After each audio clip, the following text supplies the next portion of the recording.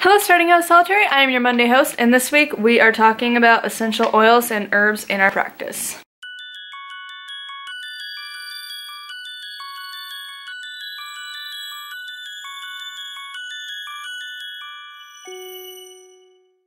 So I have only recently started using essential oils in my practice, but I love them. Essential oils are really great because if you don't want smoke in your house, essential oils are just amazing because when you burn incense, either cone, stick, or on a charcoal, it has a smoke residue. I don't like the smell of smoke as much because if I want a scent, I don't want that undertone of smoke of like something has burned. And essential oils don't really do that because if you get a diffuser, it just puts water and mist out, which by the way, if you have a diffuser, I think it's always a good idea to have a towel. At least when mine worked, I had to have a towel. So probably it was broken when I got it, but it would just like the flow would happen and then the table surface thing would get wet and wood and plastic and things kind of warp from the water.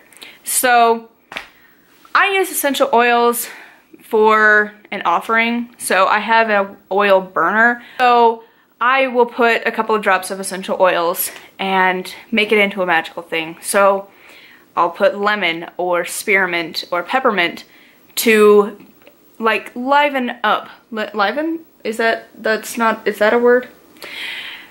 To uplift the energies of a room and to mainly I use those to help me like get my mindset to cleaning, especially lemon because like Pine-Sol kind of reminds you of lemon. And so I will have those going when I'm cleaning. Or if I want to sleep, I'll put like patchouli or lavender and have it going for a bit. Because if you use the little tea lights, they go out in like an hour. So you can kind of, you know, safe sit, say, put it in a safe place so like you won't set your house on fire.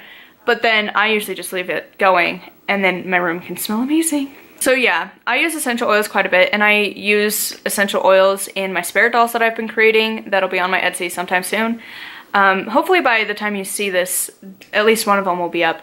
I charged both of them today with the energies of the spot because right now it's um, the end of July, so yay for re-recording early.